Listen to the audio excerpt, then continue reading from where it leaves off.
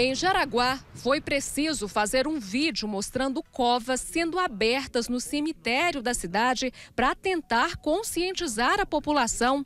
26 pessoas morreram nos últimos 15 dias no município de 52 mil habitantes. 50 novos infectados com Covid-19 são confirmados diariamente. Nós perdemos aí 26 pessoas nos últimos 15 dias. Gente jovem, gente sem comorbidade de saúde, pessoas da área da saúde, como uma enfermeira, nossa amiga Nilza, que não tinha nenhum problema de saúde, um dentista de 32 anos, sem nenhum problema de saúde, nós, um, um, um radialista, então um jornalista amigo nosso de 42 anos.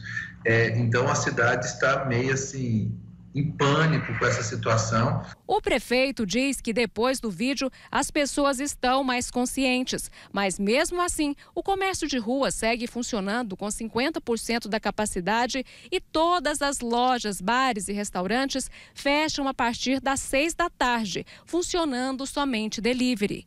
Em Piranhas, o prefeito enfrenta na cidade de 11 mil habitantes números assustadores. O índice aqui de mortalidade do município é um índice bem superior às demais cidades e bem superior ao índice do estado né, de Goiás e do Brasil. Só para você ter uma noção, as taxas de letalidade nacional é 2,4 e as taxas de letalidade do estado de Goiás é 2,18. E nosso município de Piranhas, hoje, ele está chegando a 4% de letalidade. Lá também tem decreto de 50% de redução de público nos comércios e só drive-thru à noite. Mas o fechamento total não está descartado. Se caso persistiu esse índice aumentando bastante, a tendência é de nós fazer um lockdown, fechar tudo mesmo, porque eu acho mais importante é a vida, né?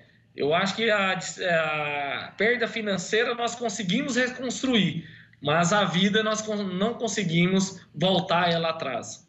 Em Caiapônia, com quase 20 mil habitantes, foram 10 mortes e cerca de 600 casos confirmados de Covid este ano. No fim de semana, a servidora pública Silvinha Custódio, de 52 anos, morreu. O marido dela, o vereador Fuscão, continua internado na UTI, assim como o vice-prefeito Eber Martins, de 51 anos. Além de reduzir o horário de funcionamento e a quantidade de pessoas no comércio, o prefeito partiu para a cobrança de multas salgadas para tentar evitar um colapso. Implantamos uma multa de 300 reais para as pessoas que não usaram máscara. Se pegar a segunda vez, 600 reais e assim vai subindo a multa consequentemente. Também aos comércios local, implantamos uma multa de R$ 1.500, pessoas que entrar sem máscara, e R$ 3.000 se pegar pela segunda vez e a suspensão do alvará de licença por seis meses daquele comércio. Em Caldas Novas, o prefeito segue tentando equilibrar os casos com novos leitos de UTI para não fechar o comércio mantido com o turismo. Os empresários se mobilizaram e se uniram para poder, é, nesse momento, viabilizar mais 10 UTIs aqui para a nossa região, para podermos evitarmos essa situação.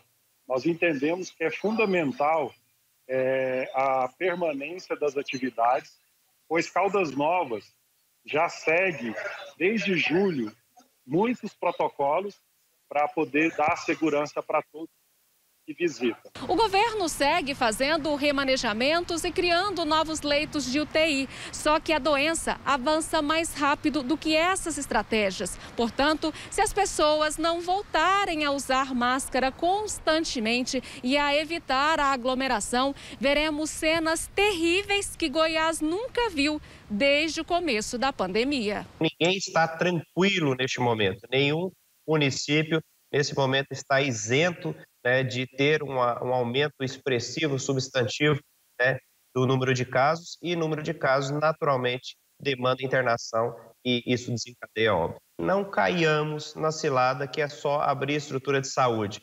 Nós não teremos 7 milhões de leitos de UTI, mas se tivermos 7 milhões de contaminados, boa parte disso pode vir a óbito. Isso depende de nós como cidadãos.